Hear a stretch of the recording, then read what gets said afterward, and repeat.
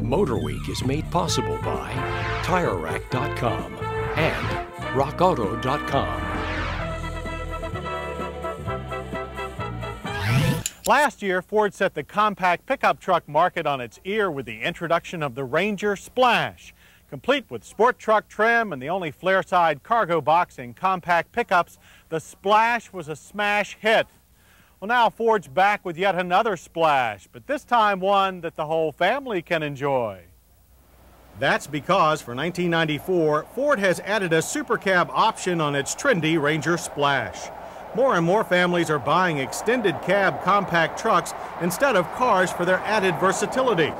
That's certainly true of the Splash Super Cab, since after the front seats politely move forward when their seatbacks are tilted, two moderately sized rear passengers will find the side mounted fold down seats surprisingly comfortable.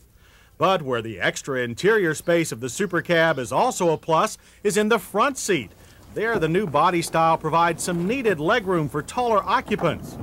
While the added space is refreshing, the dashboard continues to impress with a full complement of Ford's crisp analog gauges and smart placement of both the sharp sounding stereo and the simple to use climate controls. But it's on the outside that the Splash's sport truck styling draws stares. Painted vibrant red, the monochromatic exterior joins with the unique plastic flare side cargo box treatment, flashy 15 inch alloy wheels, and distinctive splash graphics to create a compact pickup look like no other.